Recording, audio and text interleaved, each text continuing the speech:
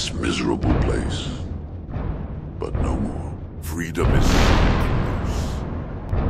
The prophecy will be fulfilled on the full eclipse, and the great wizard shall turn his back on his people and shall come and free us from the prison of hell and will make the world suffer for betraying and abandoning us.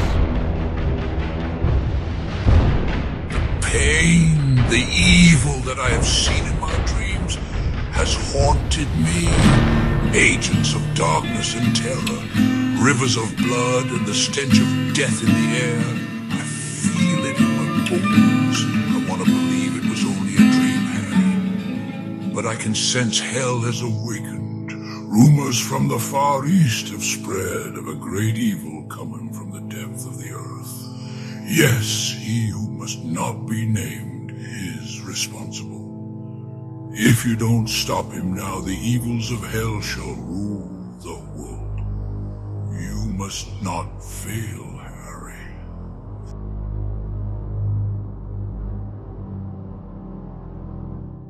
Do not be tempted by the darkness. Evil must not succeed.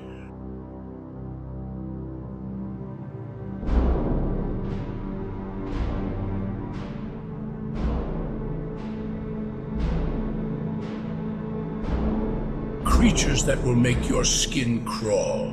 Their only mission is to fulfill their master's command and his vision of destruction. There is very little hope.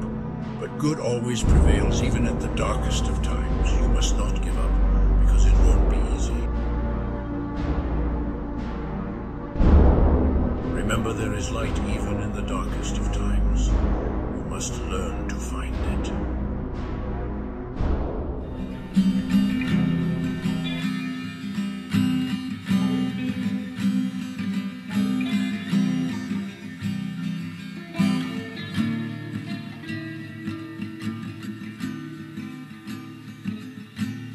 Prepare yourself for the blockbuster event of a lifetime. As Blizzard Entertainment presents Harry Potter and the Gates of Doom, coming soon to theaters near you